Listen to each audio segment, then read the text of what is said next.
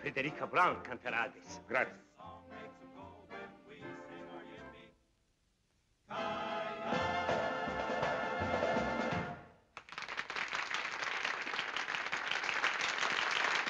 Thank you, thank you very much. And now, ladies and gentlemen, signore, signori, the kid from Albuquerque, a la, I don't know how to say kid in Italian, but anyway, Miss Frederica Brown.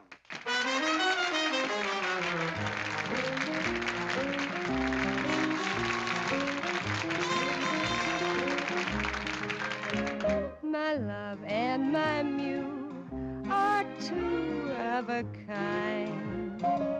What to do, what to do, what to do, my love, like my muse, can't make up his mind. What to do, what to do, what to do, crazy critters, so doggone arbitrary. I get the jitters just talking to the prairie air. They don't care, they don't care, they don't care, they don't care. Tisn't fair, tisn't fair, tisn't fair, tisn't fair. L'ha trovato? Sì, l'uomo con la barba e sulla scala. My love and my muse get balky and Va bene? Benissimo. what to do, what to do, what to do, they break every rule. Grazie tante. Brother, it's quite a routine. When a man and a donkey can both make a monkey of one pig-headed fool. Hip hooray, hip hooray, let 'em say what they may, I'm a fool for my love and my muse. My love and my muse are getting my goat. What to do, what to do, what to do? Believe me, it's cruel. Sister, a heck of a note. And I quote and unquote.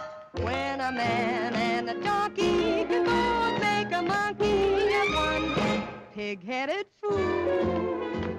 Hip hooray, hip hooray, let 'em say what they may, I'm a fool for my love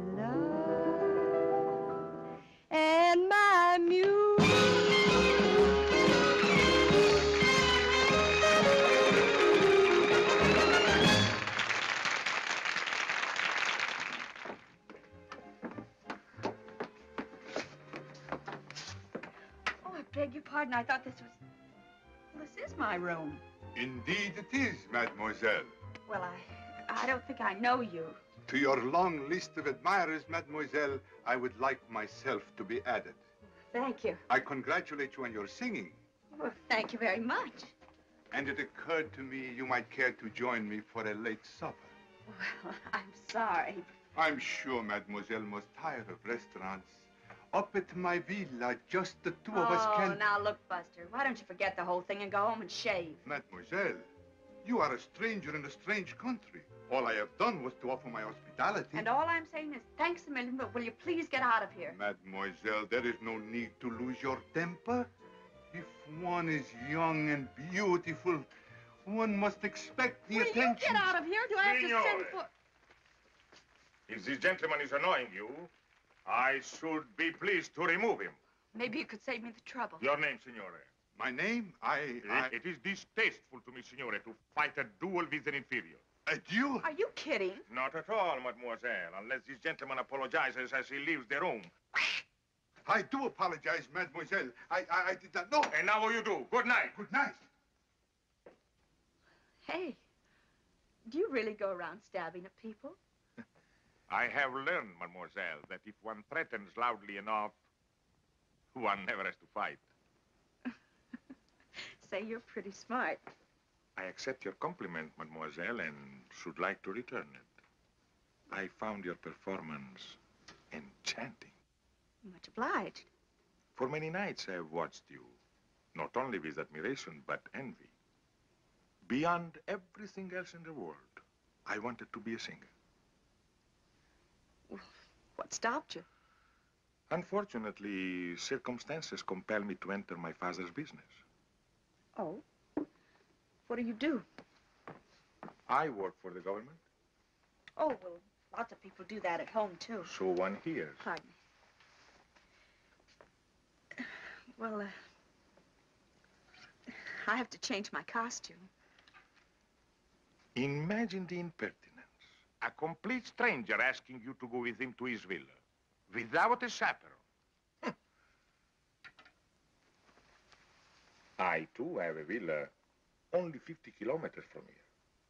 But would I ask you to go with me to it? Without a chaperone?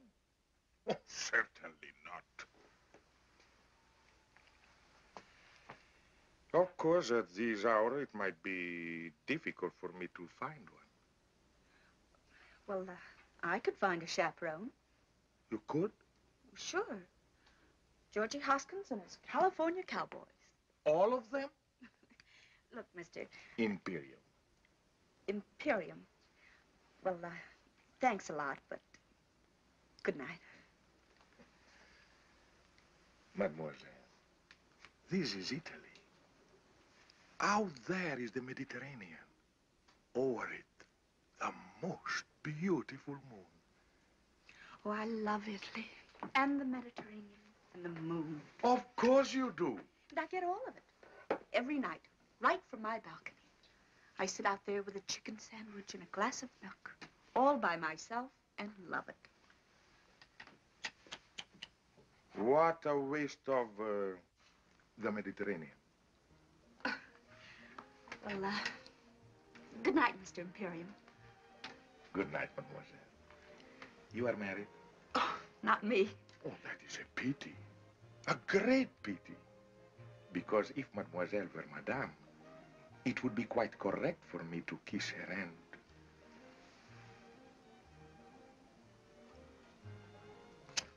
Thus. But since mademoiselle is unmarried, one is only permitted to shake the hand. Thus. well, uh, if I ever do get married, I'll let you know. Good night. Arrivederci. Arrivederci. I'll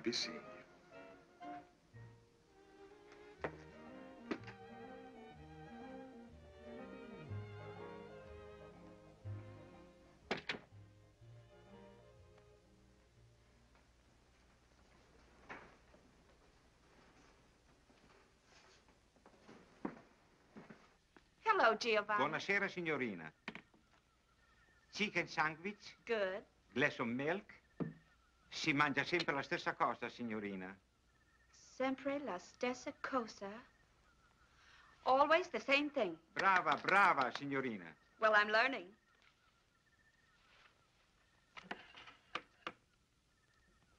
Grazie. Buonanotte, signorina. Buonanotte, Giovanni.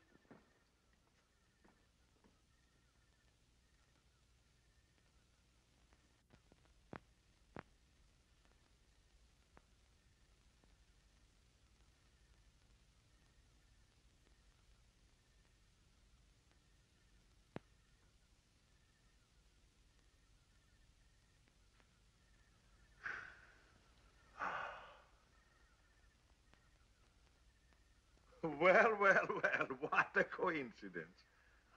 Well, isn't it? And I don't think I like it. No? There was a nice couple living in that room. They were from Texas. Texas, eh? What happened to them? Oh, They are extremely happy in a deluxe suite at the same price. I thought you had a villa near here. I do. It was no trouble to have my suitcases packed. Desidera qualche cos'altro? Altezza? No. Giovanni, what Signorina? was that you just said? Desidera qualche cos'altro? No, no, uh, the, the last word. Al, al... Altezza? Yes. What does it mean? It means uh, Your Royal Highness. Why did he call you that? Oh, because of a very unfortunate accident Accident. of birth. Forgive me, but I am Prince Alexei de Lavin de Corporantoc de... Prince Alexei de, de... Just call me Al.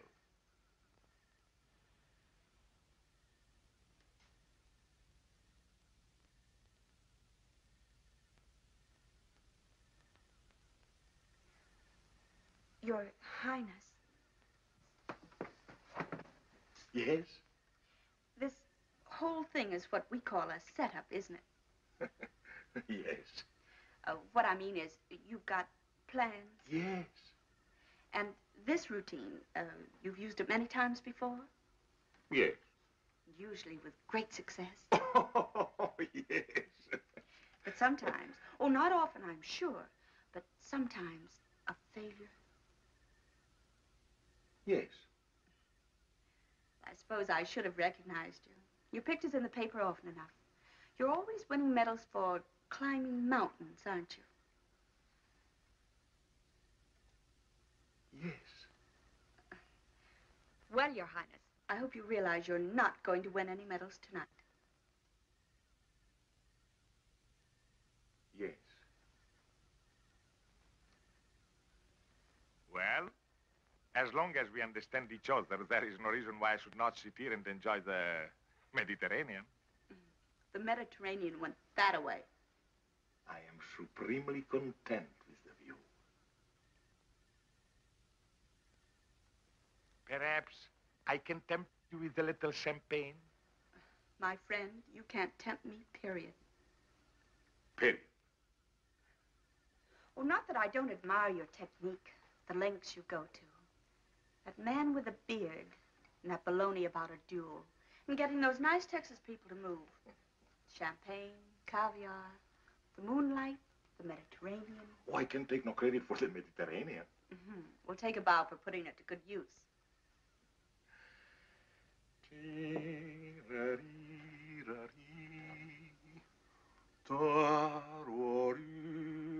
Oh, I knew there was something missing. Soft music. You do not like music? Oh, I love it. But, um, where are the violins? Violins. Well, a man who would think of everything would surely think of violins. Mademoiselle, I would consider violins extremely, as you say, corny.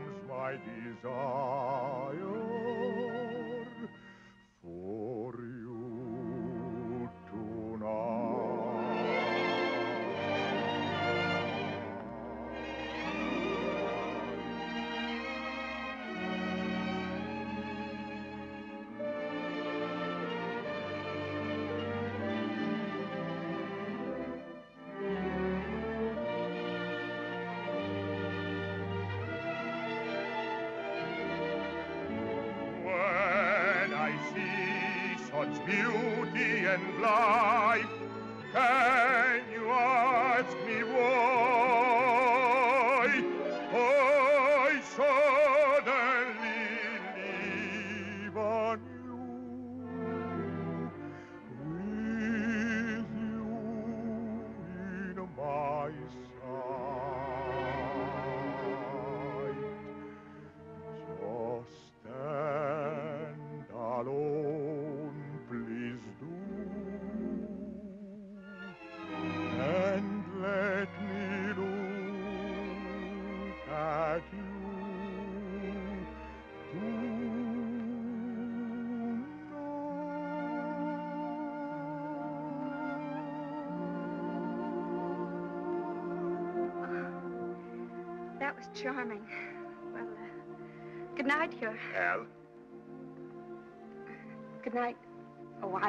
Call you Al. but I may call you Frederica?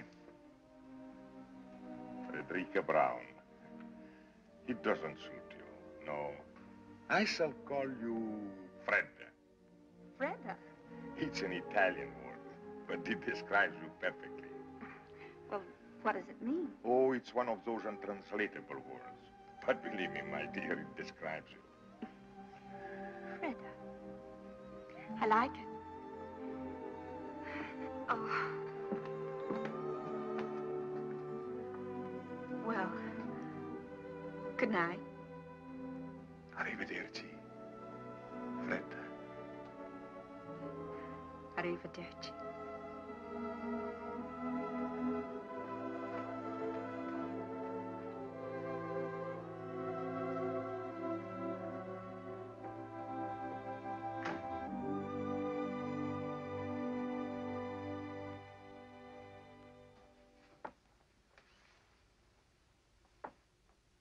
Fredda. Fredda Brown. Ladies and gentlemen, the kid from Albuquerque, Miss Fredda Brown. Hi, Fredda.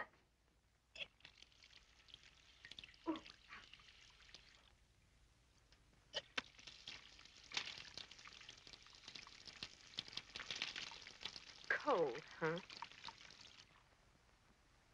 Fredda. It describes you perfectly. Well, of all the.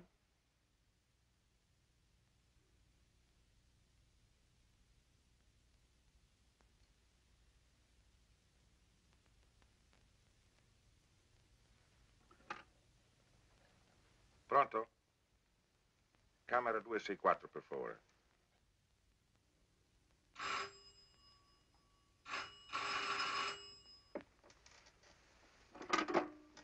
Hello?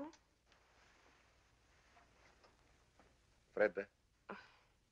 Very funny. What? Fredda. Well, aren't you Aren't I what? very, very Fred? Look, Your Highness, I'm a tired working girl Where are you now? in my room. I know. But where? I'm at the telephone. Where is the telephone? It's over there on the desk. Over there in the desk. Strange. In my room is by the bed. So? So I was thinking. Go on. I was thinking that uh, since you do not trust me in the moonlight, perhaps tomorrow when the sun is shining, drive with me in my car, or uh, we could sail a little boat, or anything else you'd like to do. Nothing fatal ever happens in the sunshine. Well, perhaps, Your Highness. If you'll call me in the morning. Then you do trust me. Oh, yes. I trust you. Good night. Arrivederci.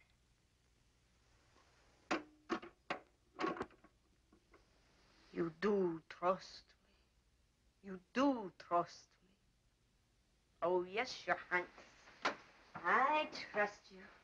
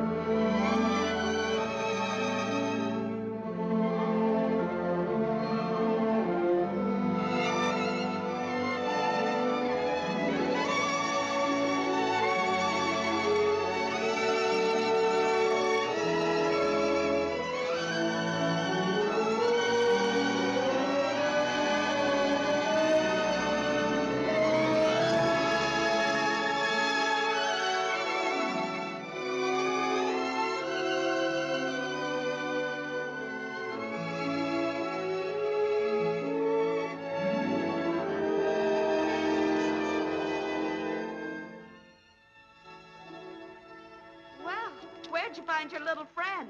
He seems to have lost his father and mother. what was here once upon a time? A castle? Perhaps a watchtower built by the Saracens 1,200 years ago. So that we could enjoy the view. Well, here comes his family. Buongiorno, signore. Buongiorno. Buongiorno, signorina. Well, buongiorno, Bambino. You insulted him. Insulted him? Bambino is baby. Ragazzo is boy. Buongiorno, ragazzo. Buongiorno, signorina. He's no longer insulted. Um, buongiorno, Al. Buongiorno, Fredda. Fredda. Caro nome. Pretty name? Dear name. Dear name.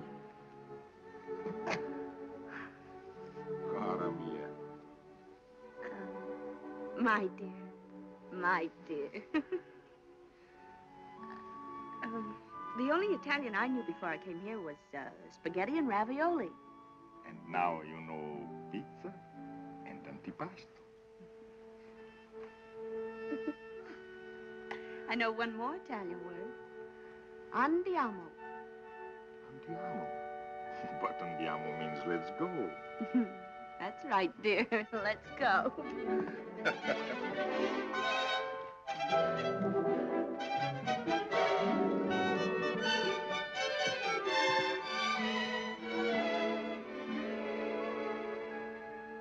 Let's go. Let's go. Oh, I forgot. He's an Italian donkey. Oh, What was that new word you were teaching me? andiamo. That's right. Andiamo. Andiamo, andiamo, my bambina, let's go. Cara mia, look around you, what a beautiful show. So come with me presto, caro nome, my love. The sun is high above. Andiamo, andiamo for a glorious fling. How allegro, how vivace, how alive is the spring. And we are alive to each other, and so I sing fortissimo. Do you love me? Fa, sol, la, si, la, si, do. If you love me, I'll be so bravissimo.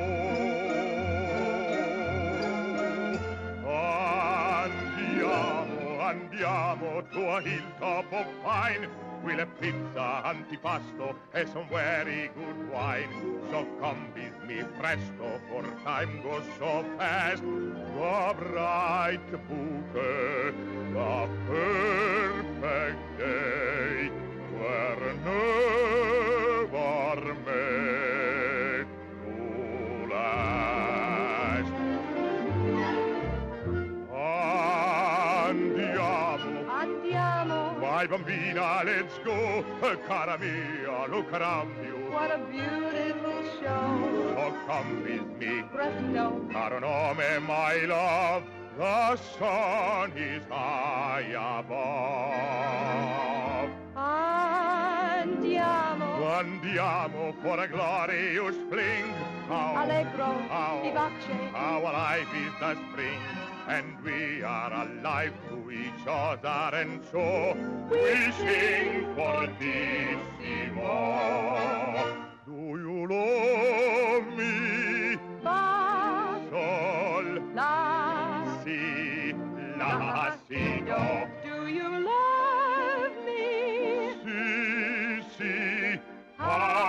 Bravissimo.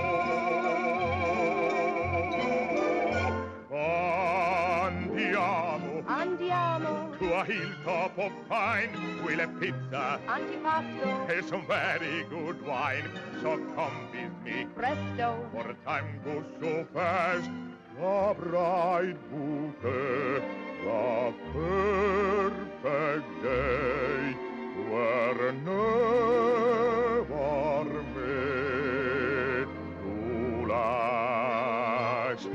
Andiamo, andiamo,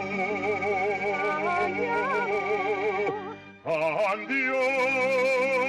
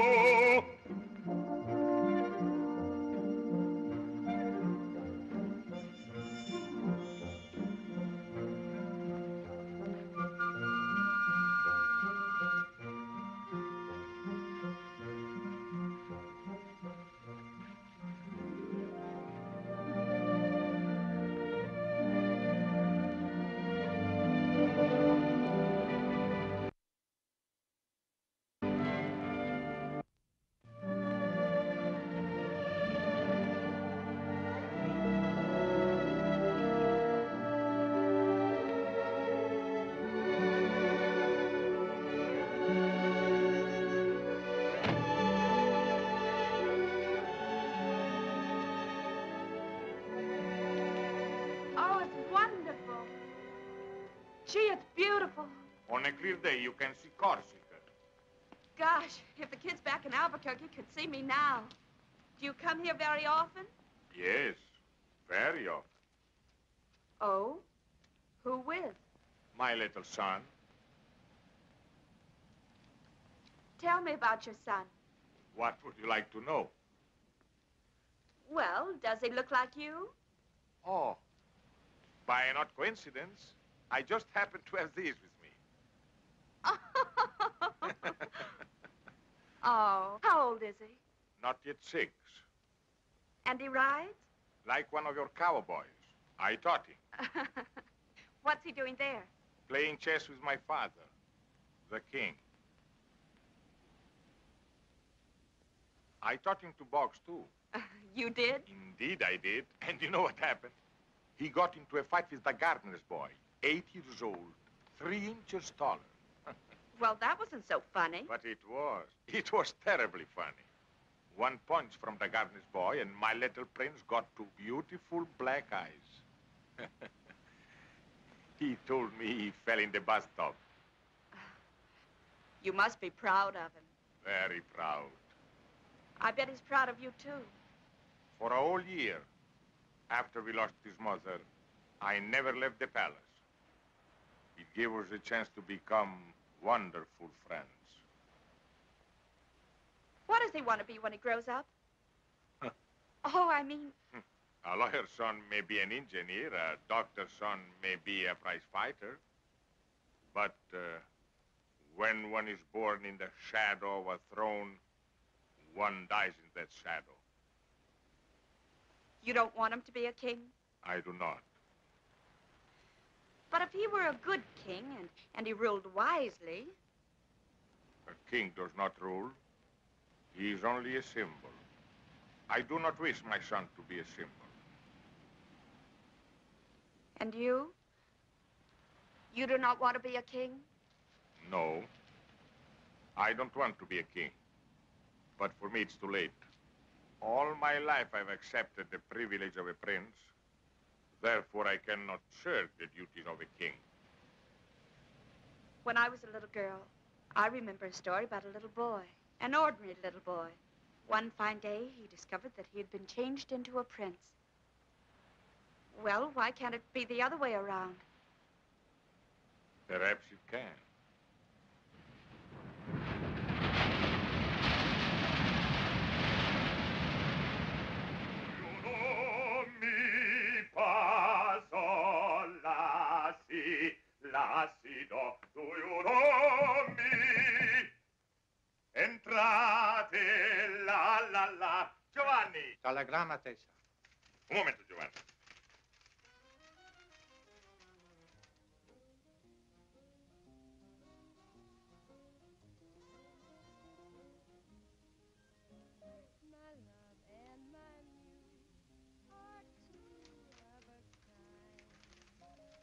What do, what do, my love?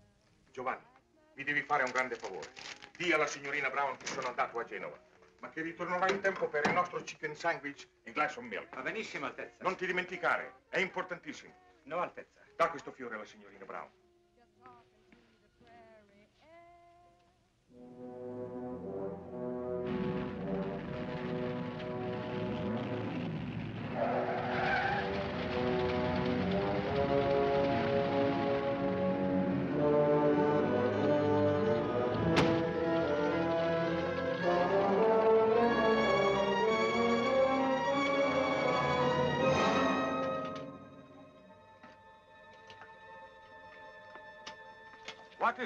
What is so urgent? It's your father.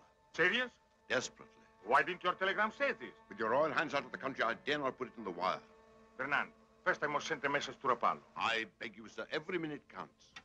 A piece of paper, Bernand, a pen, a pencil.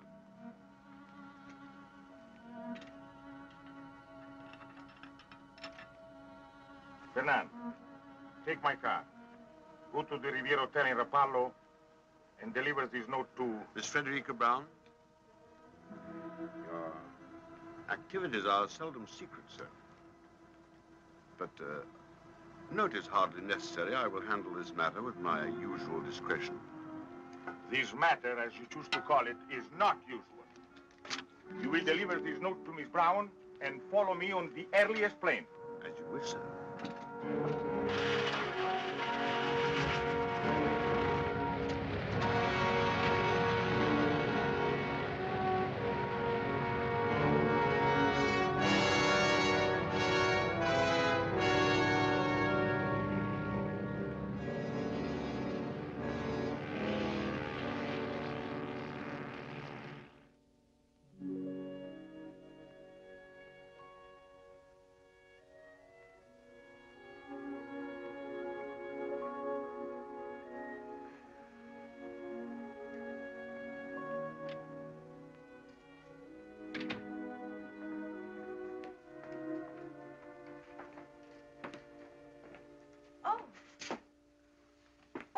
Expected. I know.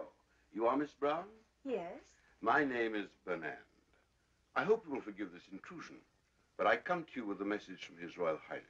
Was something wrong? I'm afraid so. Three days ago, His Majesty, His Royal Highness's father, became seriously ill. This morning, his condition became critical. Naturally, he would want his son and heir at his side. Oh, naturally. On learning of the seriousness of the situation, His Royal Highness was compelled to leave without benefit of goodbyes. I see. His Majesty is not expected to live. Hence, His Royal Highness will become our king.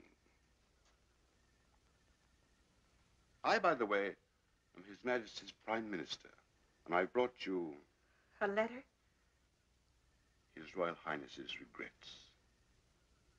I suppose with uh, practice one should become callous to these situations, but uh, somehow I never find them easy. What is it that you don't find easy? To uh, say his au revoir. His Royal Highness is so sentimental. Goodbyes become impossible for him. Fortunately, you are an American. Americans are practical, mademoiselle. You knew what I've been through with some of these European women. You have my sympathy. I've always heard that European women are very. Impractical. I see you are about to enjoy your supper, mademoiselle. Good appetite and goodbye. Oh, I almost forgot. If when mademoiselle is in Paris, she would pay a visit to Cartier and select, say, some modest jewel that uh, might catch her fancy, His Royal Highness would be very grateful. Good night, Mr. Bernand.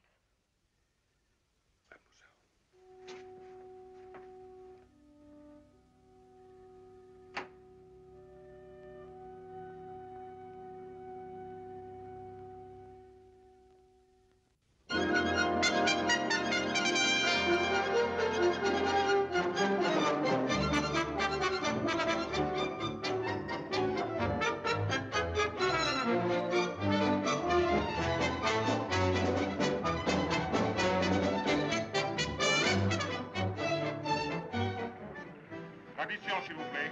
Voilà, monsieur. Combien 150 francs. Merci beaucoup. Très bien. Oh, merci, monsieur.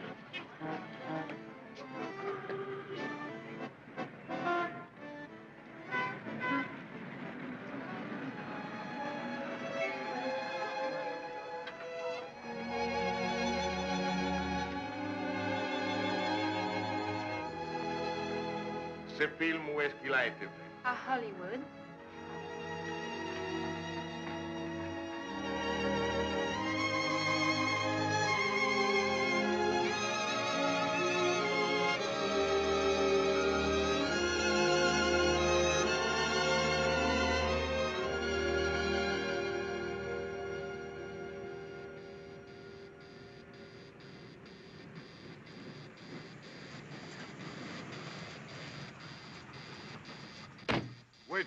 Be about ten minutes. All right, Mr. Hunter.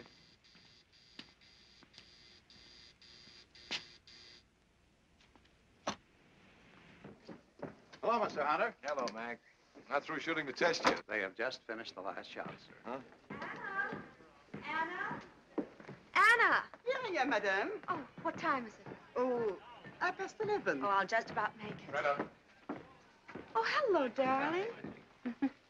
I want to talk to you. I want to talk to you, too. Well, let me get out of this and I'll be right with you.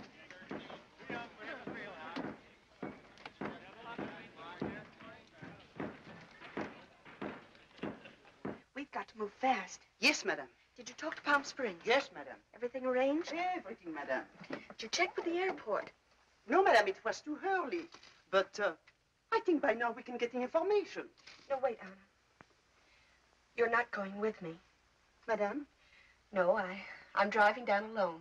But uh, I have engaged the rooms for two, one for madame and one for me. I know, Anna, but uh, I've never kept any secrets from you, have I? Never, madame. Well, I'm keeping a secret from you now.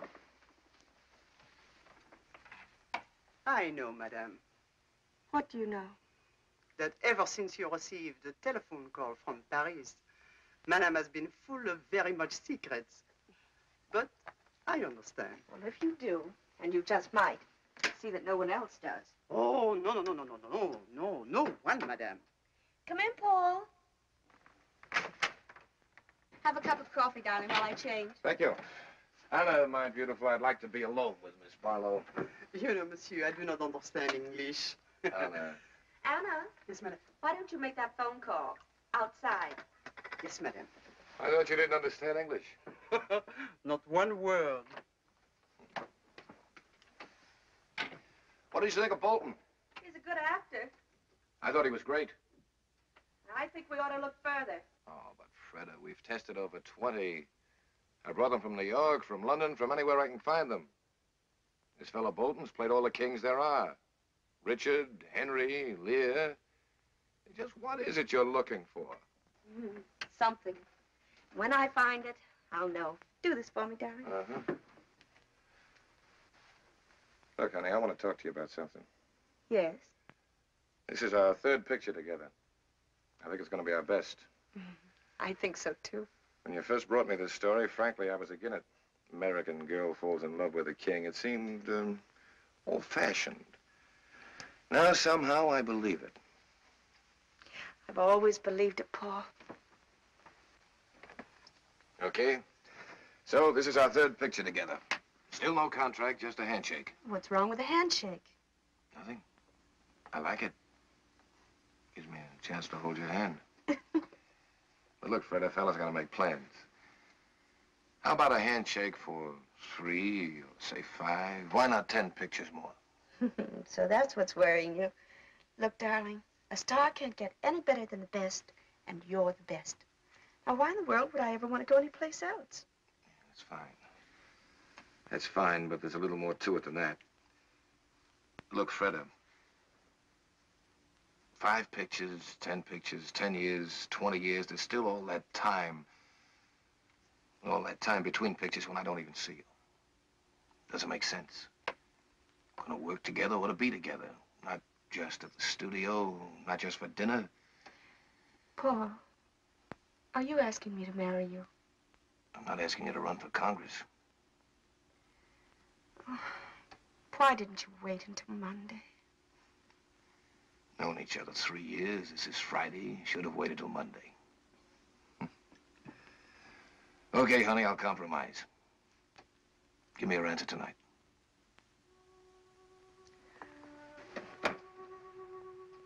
I can't see you tonight.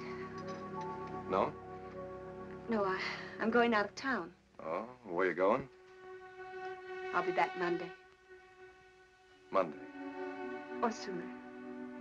And on Monday, I say to you, please, Miss Barlow, will you marry me? Will you, Paul? I don't fall for someone else over the weekend. Well, if you don't. That's fair. Handshake? Handshake. Goodbye. And that had better wait for Monday, too. Maybe you're right.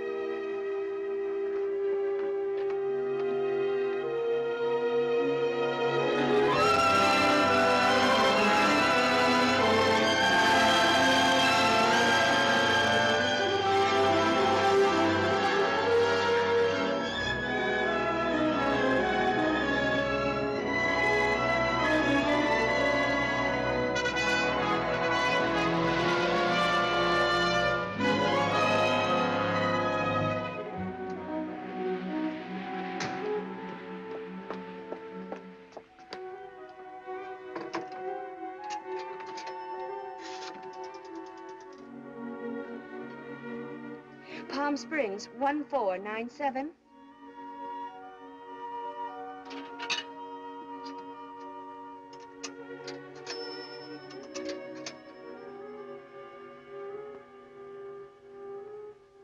Hello. Hello, Mrs. Cabot? This is Anna. Anna, Miss Barlow's maid. For three hours, I am calling you from Los Angeles. No, no, no, Miss Barlow, she should be there any minute now. Me? No, I am not coming.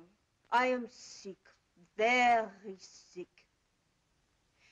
Miss Barlow wants you to know she wants only one room. No, no, no, she does not want you to lose money. If you cannot rent the other room, she will pay for it. But please, please, you try to rent the other room. Well, I'll see what I can do. Goodbye. Gwen? Gwen? Yes, Aunt Mary? Her maid just phoned. She's not coming? She's coming, but she only wants one room. Really? Please put these in the east room. I'll put these back in the linen closet. Our clock's right for a change. Nevertheless, put the towels in the east room. Yes, Auntie. That's her. The east room, Gwen. Yes, Auntie.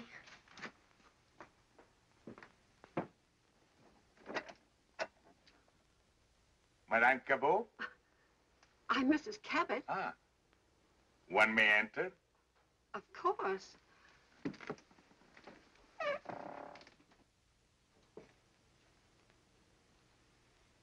My name is Imperium. Imperium? Imperium. I thought that's what you said. Imperium. I have just arrived from Paris. From Paris? Well, that seems extraordinary. Oh, well, uh, uh, It is my understanding, madame, that you have a room for rent. well, how'd you hear about us if we don't advertise? Well, you see, in Paris, it was very cold and very wet. I heard your desert was very warm and very dry. I like warmth, madame. Oh, we're very warm here. The weather, that is. For the weather is what I refer to, madame. I thought that's what you meant. And so, madame, I boarded the plane, flew to Palm Springs, but unfortunately without reservations. I have tried uh, half a dozen different hotels, and at one of them, one of the clerks said that you occasionally rented rooms, and uh, here we are. Well, it just so happens, by the merest coincidence, that I do have a vacancy. Good. I get my bags. Oh, they're all right out there. Uh, come with me. I'll show you what I've got. Uh, it may not be elegant enough for you, but... Uh, A home I find uh, usually reflects the personality of each occupant. In this instance, I have no fears, madame. oh, that's nice of you to say that, Mr. Imperial. It was nothing, madame. Nothing at all. This is the west room. It's just the same as the east room, except it's, uh, it's, uh... West. yes. Uh, these are the beds. Oh, the beds. You can sleep in either one you like. Good, good. Uh, the dressing room's over there. You don't have to pay attention to that door. Never. It leads into the other room, but the door's bolted on both sides. A wise precaution. I'm sorry there isn't anyone to get your bags for you. You'll have to bring them in yourself. Of course. Mademoiselle? Auntie! Who is he? Mr. Imperium. Who? That's what he said. Imperium. There's no such name. It's his. There must be. I was just thinking, he's somebody. I don't know. First of all, I thought he was a foreign movie star like Charles Boyer. He's not Charles Boyer. Well, anyway, he looks like an actor. If he is one, Miss Barlow will know who he is. Definitely. I'll ask her. You'll do nothing of the sort. Get your feet off the bed. But, Auntie... The only reason she comes here is because so quiet. No one ever bothers her, asks her any questions, including you. I wasn't going to oh, bother him.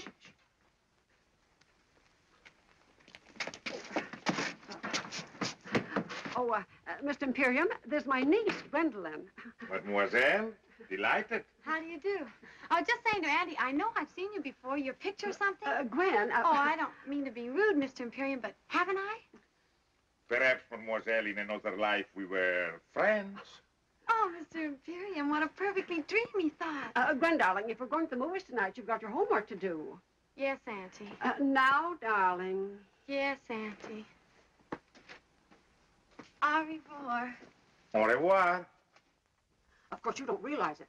But if you'd have arrived just one minute earlier, I wouldn't have had a room for you. Oh, fantastic. Yes, sir. She canceled the room just before you rang the doorbell. You see, she always reserves both rooms. That's so she won't be disturbed or run to strangers or anything. But at exactly one minute two, her maid called, and then the clock struck three. Who's maid? Miss Barlow. Fredda Barlow. Fredda Barlow. Uh, oh, yes. Uh, you've seen her? In person?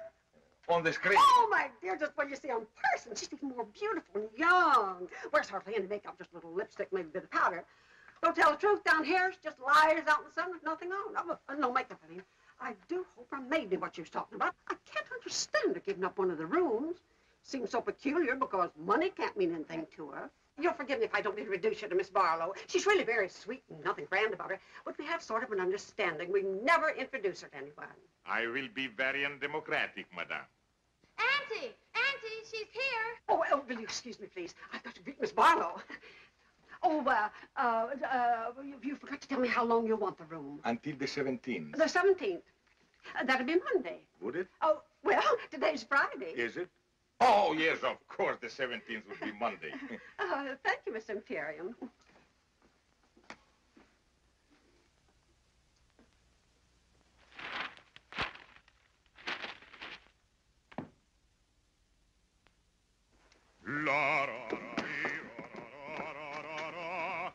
Oh, dear. What is it? Mr. Imperium. Mr. Imperium? Uh, that's what he says his name is. I knew he was a foreigner, but didn't know he sang. Maybe I should have. Most of them do, I suppose. I don't mind, Mrs. Cabot. Do you love me? A thousand pardons, madame. Of course.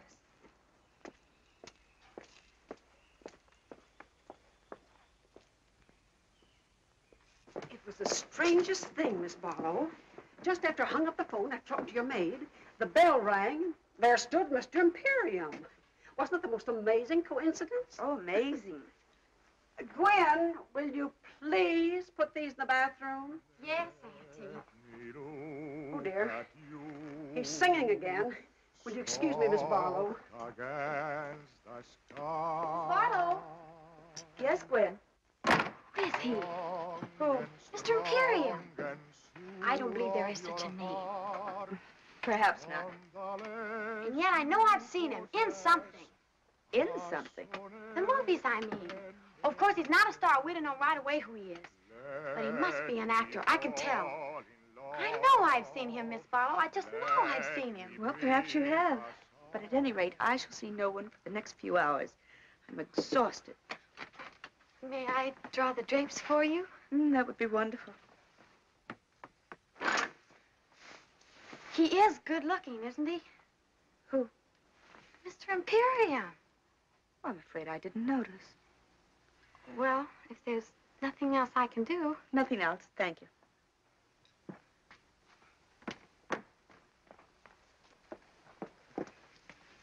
I asked him not to sing anymore. He was very nice about it. Well, why did you do that? Well, so you can rest, Miss Barlow. Oh, well, that was kind of you. And of him. well, rest well. I'll try.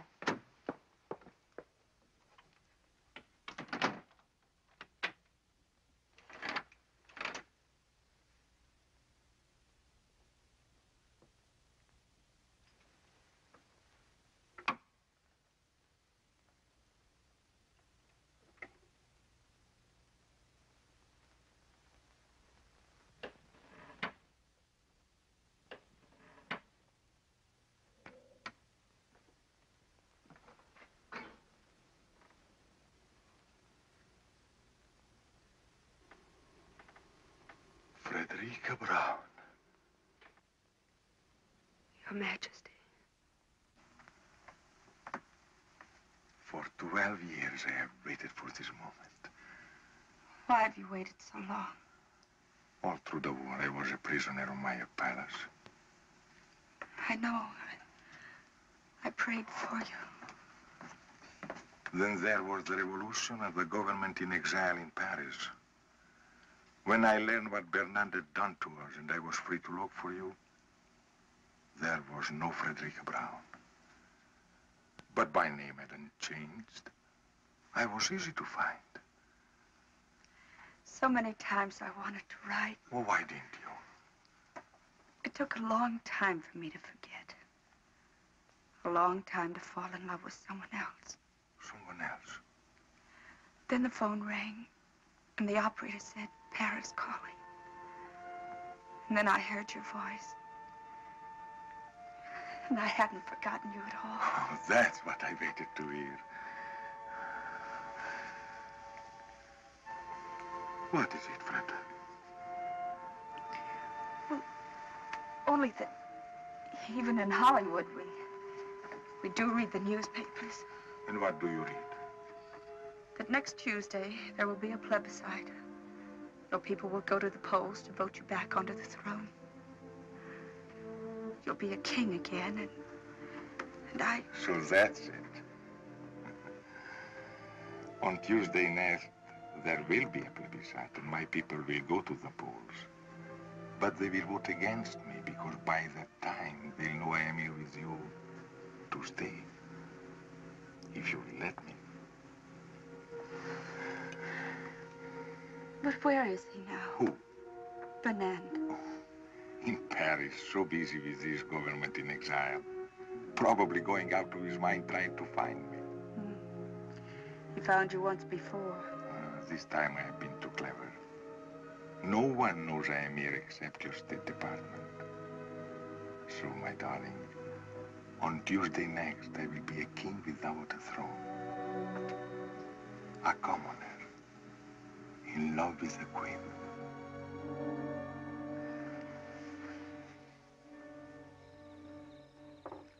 She's still resting. She must have been tired. Mr. Imperium was tired, too. It's the desert air. That's a new name for it. What are you talking about, Gwen? Oh, Auntie, don't be so unsophisticated. Shh, Gwen. Oh, uh, good evening, Miss Barlow. Good evening, Mrs. Cabot. Gwen? Uh, won't you join us? Oh, no, thank you. Well, there's plenty here. We're going to the movie afterward. Would you like to go with us? Well, thanks very much, but it's such a lovely night. I thought I'd take a little drive and get a bite of dinner and then come back to bed.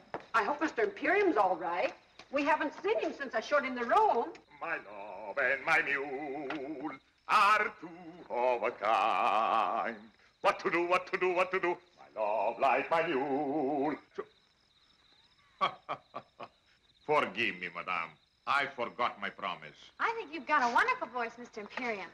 You could be an opera. Oh, you flatter me, mademoiselle. I'll bet without my accent, you would all think me a cowboy. Oh, even with the accent. Oh, what a wonderful evening. Everybody paying me compliments. Uh, that's a very old song. Where'd you learn it? In Italy, madame. And you remembered it. It was sung uh, not too well, mind you, by a very beautiful woman. I remember the woman and therefore the song. Oh, I think that's charming, Mr. Imperium. Don't you, Miss Barlow? Oh, charming. Not original, mind you, but charming. Madame, there is so much originality in the world and so little charm. For example, For example? for us to dine together would not be very original, but it would be charming. Well, the restaurants here are rather limited. To me, Mr. Imperium, you suggest uh, caviar, champagne. On the contrary, madame. I am the chicken sandwich and the glass of milk type. Well, we can do better than that. There's a little place halfway up the mountain. Charcoal broiled steaks. Oh, Miss Barlow, you have talked me into it. Madame, mademoiselle, my love and my mule are two of a kind. What to do, what to do, what to do? We didn't even introduce them. I tell you, Auntie, there's something squidgy about the whole thing. Squidgy? In the first place, giving up the room, then going off with him, a stranger, just like that. And why should a foreigner sing cowboy songs? I don't know, dear. But your uncle was an American, and he loved to sing Oh Sole Mio. Of course, that was different. He really never knew the words.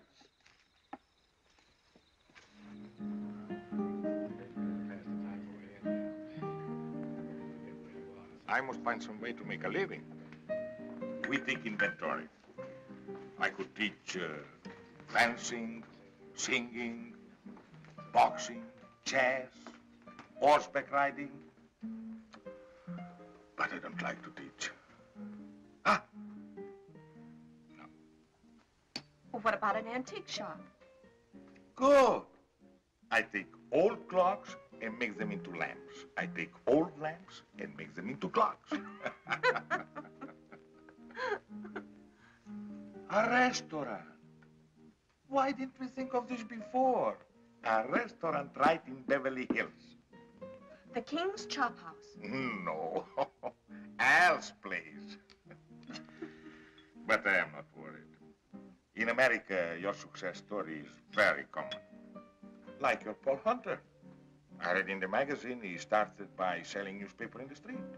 They say that about most successful men, but in Paul's case, it happens to be true. Tell me more about him. What do you want to know? Everything. Well, he's tall, dark, intelligent, and sometimes quite handsome. Dark, huh? And he's in love with me. And who is not?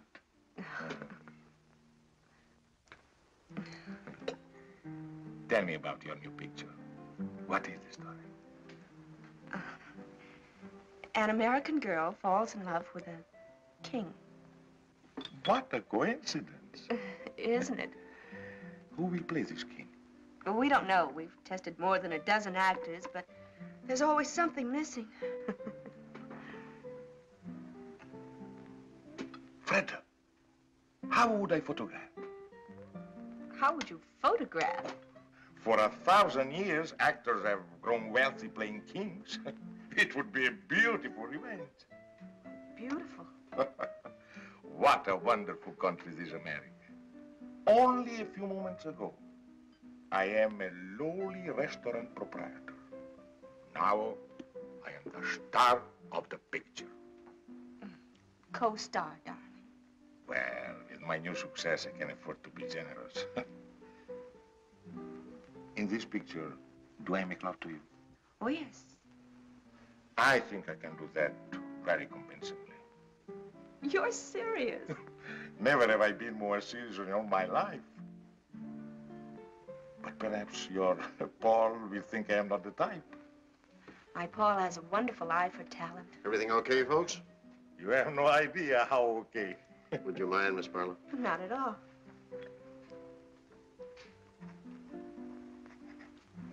Thank you very much. Next year, I will sign the autograph book. Well, hello. Hello, señorita, ¿cómo? Miss Barbara, nice to see you. Mr. Imperium, I want you to meet the Guadalajara trio. How do you do? When do you start your picture, Miss Barlow? He means when we work. Well, it won't be long now. You have found someone to play the king? I think we have. And besides making love to you, I also sing. Oh, I'm afraid you do, darling. In what language? Well, you do one number in Spanish. Why? Because these are my friends, and I want to give them a job. Oh, I suppose I asked them if they know such and such a song, and they will answer yes. Well, if they answered no, there wouldn't be any song. Go on, ask Okay, okay, okay, okay, let's see now, let's see. Do you know uh, uh, Solamente una vez? solamente una vez amé la vida, solamente una vez y nada más. Una vez nada más en mi huerto brilló la esperanza. la esperanza que alumbra el camino de mi soledad. Una vez nada más se entregue el alma con la dulce total renunciación. Una vez nada más en mi huerto brilló la esperanza. La esperanza que alumbra el camino de mi soledad. Now you do one in English. Oh, I am a king. I can sing in every language. You belong to my heart Now and forever, and our love at its start so long ago. We were gathering stars while a million guitars played our love song. When I said I love you, every beat of my heart said it too.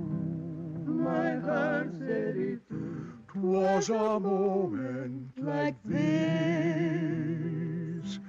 Do you remember? And your eyes threw a kiss when they met mine.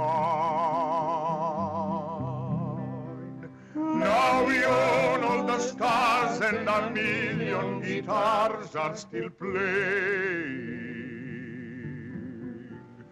Darling, you are the song and you'll always belong to my home. You belong to my heart. Bravo! Muchas gracias, muchas gracias. Did you notice her car isn't here yet? Maybe she put it around on the other side of the house. Oh, Auntie. They aren't home. Their doors are still open and her light's out. And it's after 11. Is it, dear? It doesn't take that long. It Doesn't take that long for what? To eat steak and potatoes. They might have gone for a drive. There's nothing restful about a drive. Well, she said she came down here to rest. But she rested all afternoon. How do you know? The drapes are drawn. So were his. So were his what? Drapes drawn. He rested too.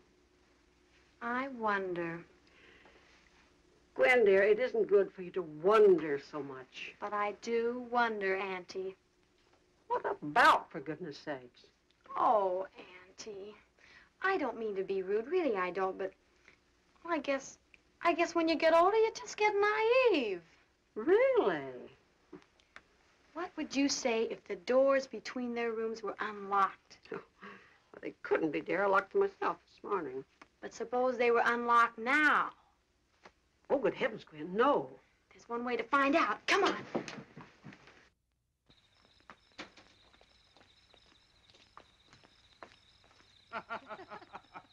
you belong to my heart now and forever.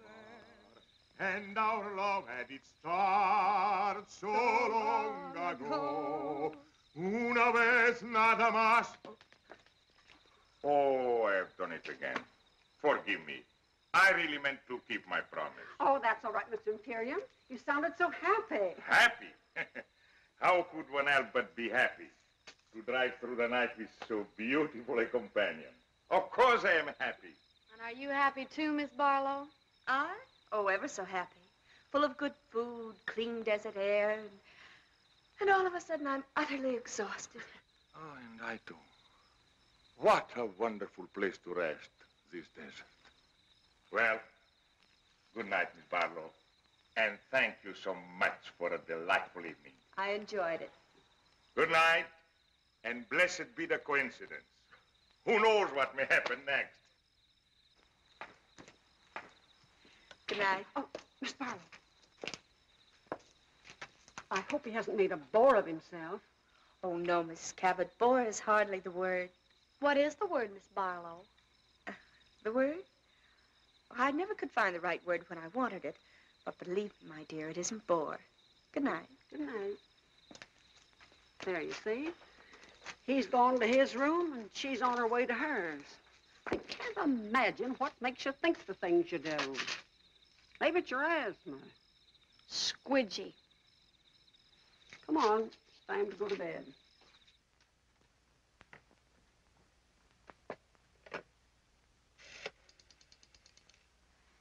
Long distance, please. I want Beverly Hills, Crestview, 54124, uh, 1497. I'm calling Paul. It's pretty late. Well, he has a phone by his bed. Oh, yes, has he? Well, I imagine he has. Most executives do, you know. No, I didn't know. Well, now you do. Hello? Hello, Paul? Did I wake you? No? Oh, I'm glad. You don't? Oh, that's sweet of you, darling. What, darling? Oh, yes, darling. Of course, darling. In show business, everybody calls everybody darling. Oh. What, darling? No, no, I was just talking to a friend. Well, you don't know him, Paul. He's a very old friend. And Paul is the most extraordinary thing, but he would be absolutely marvelous as the king. She wants him to play the king. The terrible part is His Majesty would be superb.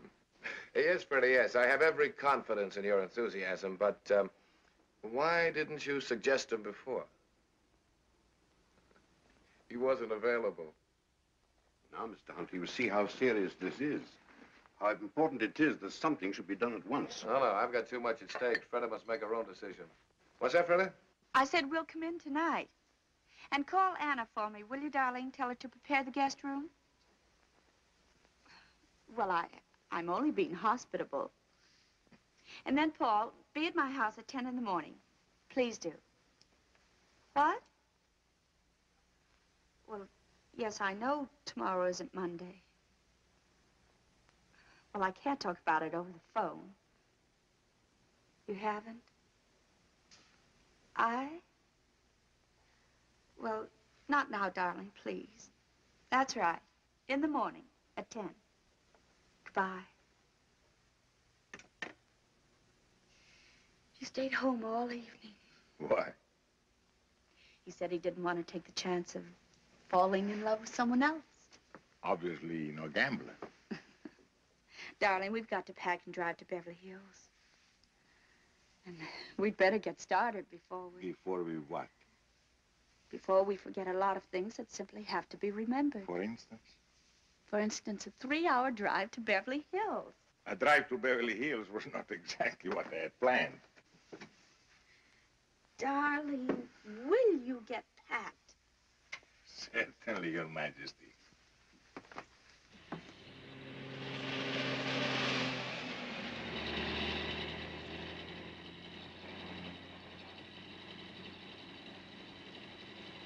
Oh, so that's it.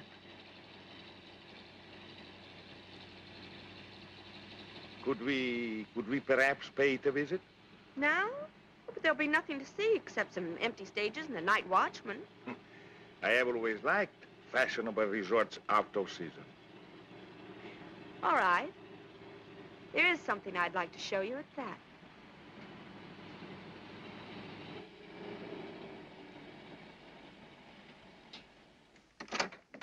Hello, Miss Barlow. Hello, Lucky. Will you turn the lights on, please? Sure thing. You want them all on, Miss Barlow? Every last one.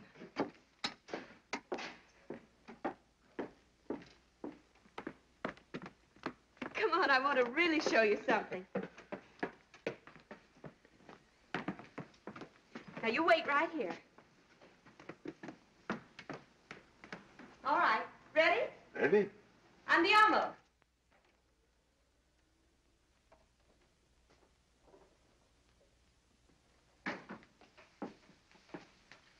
Well, well, well. What a coincidence. Isn't it? What happened to those wonderful people from Texas? Oh, they struck oil. They always do. Miss Barlow, Yes. this whole thing is what we call in America a setup. Uh, yes. You have plans. Yes. You have done this before. Oh, yes. And always with great success. Yes. And sometimes not very often. Sometimes a failure. Mm, yes. Tonight, you will have no failure. I am what you call not hard to get. You have suspected this? yes.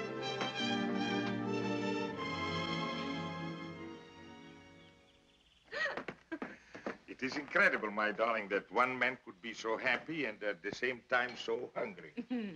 Me too. Now, we have to find a name for you. I have a name, Oh, well, Imperium's fine, but I mean, we have to get a first name. but I also have a first name, Alexei. I know. I know. Alexei de Gabble de Good or something or other. No, something simple like Joe, George, Harry, Sam. Ignatz. Beautiful. The Shadow of a Throne, starring Fredda Barlow and Ignatz. Oh, that'll be Paul. Now, listen, darling. Don't be over eager. Just let him do most of the talking. And when it comes to money, I'll handle that. Oh, not that Paul isn't generous, but after all, he is a businessman. and I am only an artist. Paul, darling, I... Your Majesty. Madame, I bring you Mr. Hunter's apologies, but he felt that his presence would lend further embarrassment to an already awkward situation. No apologies are necessary, Bernand. No one in all the world could be more welcome. I was just beginning to worry about how I could find you. But I should have known. Like a bad penny, you turn up at the opportune moment. Forgive me, Miss Barlow. You do remember, Bernand. Yes, I seem to remember that we did meet once before. I'm sure Madame understands by now that there are things in the course of our duties. I understand many things, Bernand, but not what brings you here. But I understand, Fredda. He's come about the plebiscite, haven't you, Bernand? About the speech I am to make on Tuesday. Exactly. Your Majesty's unscheduled departure from Paris created a vacuum that was not uh, precisely part of our plan. Oh, yes, our plans. That's what I want to see you about, Bernand. I think you should know that there has been a slight alteration in our plans. There is hardly time for alterations, Your Majesty. The speech must be made on Tuesday, or else... No, my friend. On Tuesday, you'll tell our people, and thus the world, that I renounce the throne. Your Majesty. Twelve years ago, I made a grave mistake, aided somewhat by you. Only a fool would lose the same battle twice. So tell my people that their king has made his final choice to spend the rest of his life with the woman he loves. Do you realize what you're doing, Madame? Do you realize... I realize... realize that this time there's no letter for you to burn, no lies that you can tell. Your Majesty, I have no intention of You permitting... forget yourself, Bernand. My abdication will take place on Tuesday. This is only Saturday. I am still the king. You may go. Surely Your Majesty knows me well enough to know that I would not undertake this long and tiresome journey without baggage. Baggage? It's diplomatic language for the ace of trumps. Come, come, you have baggage. Then let us examine it. By all means. You know, Madame, that after the war ended, we had a revolution. You will find Miss Barlow very well informed. Good. But this she may not know. Our people now are weary of revolution. They want their king again. And they are going to have a king, Madame. If not the father, then they'll have the son. The son? Where is your son? In England with good friends, enjoying life like any English boy. He loves his life in England, I'm told. It seems so cruel to put an end to it. Put an end to what? To his life To his life. in England. Oh, well, he's, he's bluffing. My boy is safe in England. You know he is. My news is somewhat later than your own. Then where is he? The moment that His Majesty disappeared, I took it upon myself to communicate with the Prince. He is at present somewhere on the continent in the care of good and patriotic friends. And if His Majesty remains silent, then I shall speak as His Majesty suggested, and I shall tell our countrymen that their king deserted them in their hour of need, and that his son will come to them and reign under my regency until he comes of age. My boy is safe in England. Where is your telephone? Oh, right here, the library. One moment, Your Majesty. The United States government has generously provided a military airplane. It is waiting at gate 44 at the Los Angeles International Airport. There will be no publicity. They will respect your incognito. I shall await you there. If any harm has come to my boy,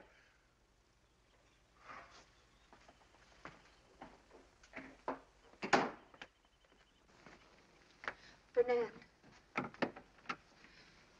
Please, wait a moment. I want to talk to you.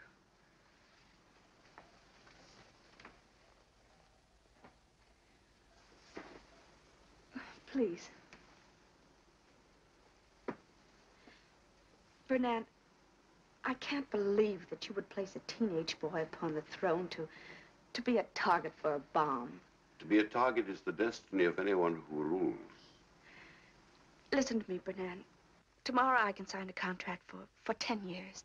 I'll give you half, three quarters of my salary. More if you like. If, If you'll return the boy to England and and let His Majesty stay here with you, and let His Majesty stay here with me. I have never envied His Majesty his crown.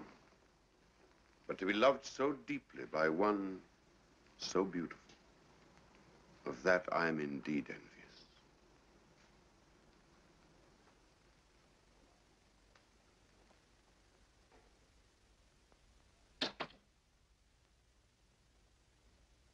Yes? Yes, that's right. Mr. Clifton Taylor, Ainsbury School, Sussex, England. Thank you. They will call right back. But It doesn't seem possible that a prince could be kidnapped without the whole world knowing about it. it. Is the one thing I'm counting on. Funny. In a moment like this, when my whole world is falling to pieces, to be concerned with such a little thing. What little thing? That bow. Bernand's bow. You didn't notice. Your Majesty. Your Majesty. That insulting little bow from the neck. It's all I get from him. He knows it infuriates me. That's why he does it. Now to my father. Your Majesty. Hello? Hello? Hello, Mr. Taylor. This is King Alexis speaking. Yes? Fine. Thank you, fine. Tell me, I have been led to believe that is, uh, there is a rumor that my son... What is that? He did? Yes, of course I'll wait. The boy was not kidnapped. Oh, thank heaven. No, he left of his own accord. He left a note uh, to the headmaster. He's going to read it to me. Have you pencil and paper? Yes. Yes? Yes, Mr. Taylor. My country is in danger. And I can do no less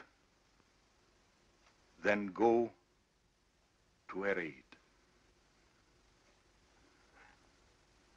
Were my personal happiness the only consideration,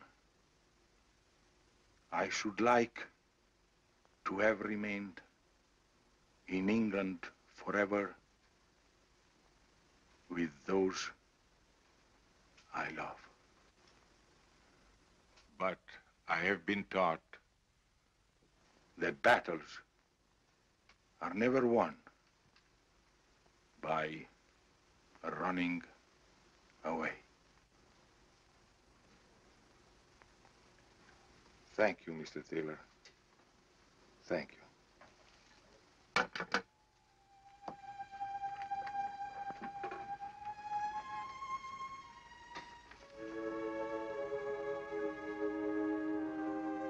Seventeen years old.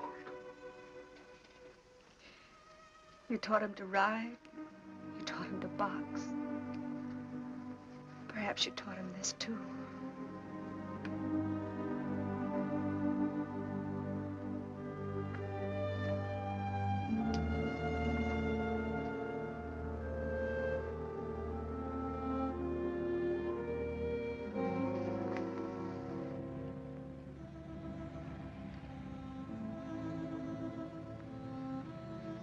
Arrivederci, darling.